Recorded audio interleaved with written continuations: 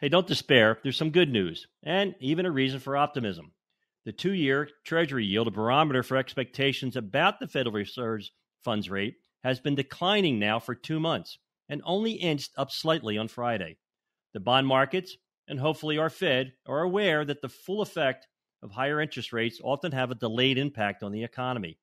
That means inflation could start decelerating sooner and more quickly. Word economist Jeremy Siegel said recently in an interview that inflation is basically over, and the Fed's rate hike next week should be their last. And Siegel reminded viewers that the Fed ultimately follows the data. Next week's Fed meeting coincides with the release of the November CPI report. And if that shows an extension of the decline we saw just this past October, it could lead to a more dovish Fed. So let's hope for a low number. And let's hope Dr. Siegel has it right and the Fed just follows the data.